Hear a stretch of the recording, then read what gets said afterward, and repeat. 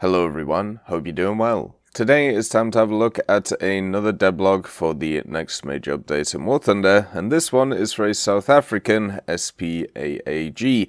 This is the Bosvark. So following the Ystervark, now we have the Bosvark. This thing is looking pretty fun, and also, finally, when it comes to Britain, after the introduction of the Ystervark, and then the Skink, and now the Bosvark, the middle AA issues with Britain are finally solved. It's been really nice to see over the last year or so that the the issue of that, which has been around for what feels like four or five years, has finally been fixed, and also with the USSR getting uh, their uh, machine as well uh, to try and help them out, the good old uh, ZD, and uh, other nations getting their AAs. Hopefully, this spreads to everyone else, so therefore we can have parity across all of the nations. But when it comes to the Bosvark, uh, it is looking really cool. The design itself is definitely interesting. Let's get into the history of this vehicle. During the South African border war, lasting throughout the 1960s up until the late 1980s, the South African Defence Force managed to capture large quantities of ZU 23-2 towed anti-air guns. Being in popular use by Angolan forces, the SADF used these guns primarily as base defense and also training. After the war, these guns were no longer required and put into storage. In the early 1990s, however, the SADF sought to mount the newly purchased ZU-23-2 on a mine-resistant chassis. Shortly after, Armscor identified the Samil 100 transporter as a suitable platform and modified it to house the ZU-23-2.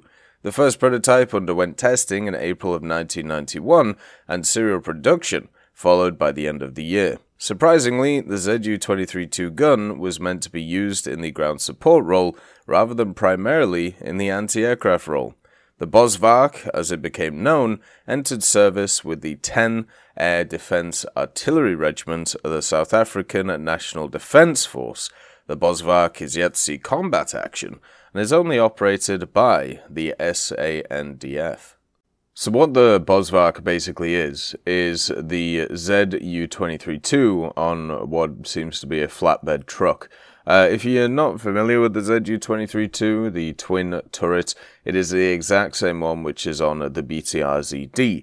Now, the BTR-ZD gun, and also the chassis itself, has gone up in BR several times because of the high velocity and also high rate of fire of the uh, rounds from the uh, gun. So I feel like with the Bosvark, it'll probably have similar stuff, which would be quite nice. Um, so that uh, will be quite good for it. Uh, each cannon only has a 50 round magazine, uh, which kind of sucks, but at the same time, the reload shouldn't be too bad and all of that. Uh, this vehicle will be good in the AA portion. It'll be great against light vehicles as well. You can just sit at the end of a road and absolutely annihilate something. At the same time, uh, it may have a bunch of empty space in it. Uh, so therefore, um, if somebody HGs you, you'll probably get overpressured. But if somebody shoots like AP at you, maybe the round will just go straight through um, because of this uh, size of this thing. There are so many vehicles for South Africa which are just absolutely massive. Stuff like the G6 Rhino, uh, also, at the same time, the Ratel is pretty big uh, for what it is, and even the Olifant um, with the Mark II uh, being a chunky monkey. And the Bosvark is no different. Uh, basically, what you have is a massive machine uh, which has access just to the 23 millimeters. There's no real armor on this thing. Uh, the driver's cabin itself has 10 millimeters of steel plating, so this thing will get machine gunned to death. The crew on the gun is obviously open uh, compared to closed, uh, so you know it's uh, it just uh, kind of is at the end of the day.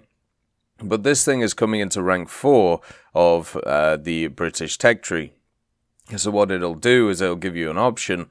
Do you want to take this, or do you want to take the skink, or do you want to take the Ystervark uh, as you go up in BR? And I think that's really good. Um, I'm really happy that South Africa was added to the British tech tree. I know some people wanted the South Africans to be independent, especially since Israel uh, was uh, deemed to, to, be good enough to be independent, or maybe they didn't know where to put it. Uh, but South Africa, for me, uh, would always flourish more as a add-on to the British. Just like how if they had Finland uh, in the next major update or whenever, it would be much better as an add-on to Sweden, uh, which would be really nice. I feel like going forward uh, with these uh, other nations, what they should be done is tagged to the nations we already have in the game, just for the sake of grinding and just for the sake of it being easier for new players having to deal with it. We already have so many nations in War Thunder, adding extra ones as independent ones is only going to cause issues. And we have a prime example of why it's nice uh, for these nations to actually get added to previous ones. Britain really struggled in the mid-tier AA department. It pretty much didn't exist for the longest time. You went from the Crusader AA Mark 1 and Mark 2, which were World War II platforms based on the Crusader, one having 20mm Oerlikons and the other having 140mm Bofors, all the way up to the Falcon, uh, which is a TD. Um, the well, it's an everything destroyer, I suppose. Um, but yeah, so you had this huge gap uh, with it, and now with the Skink, which is Canadian, and then also the Bosvark and the Ystervark, now that area is kind of fixed. And this really shows, uh, this one dev blog, and also those additions of last year, why mixing these tech trees are important. Not just for the fact that to get the vehicles in the game, but to actually balance out the general lineups that you have in the game. And uh, therefore, you know, you can you can actually have a bit more fun. So that's why nowadays I'm much more interested in just getting vehicles into the game, into tech trees that will kind of balance out their uses uh, so we can have parity between them. Uh, that has been a major focus for me personally over the last few years. And with stuff like the Bosvark getting added in, even though it may just be a 23mm on a large platform, first of all, it looks really cool.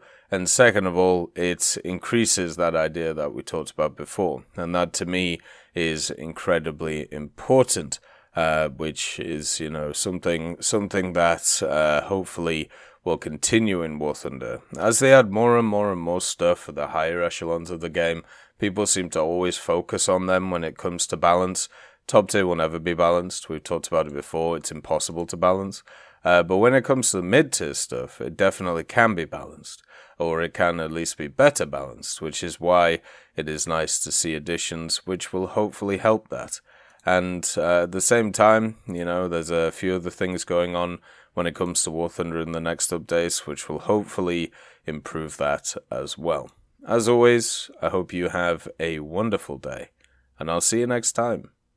I'd like to thank Forge, Siegebreak, Carrion Crow, Nicholas Richardson, Elove Goat, Pyman, Winter Scientist, Merciless Reaper, Orange Tail, Teddy, Daniel Stanton, Moxie, B. Young, and also Sem Arslan, Wilkski, uh, Uncle Bean, Derek R., Bareen, Lafouche, and Samuel Slick for supporting the channel.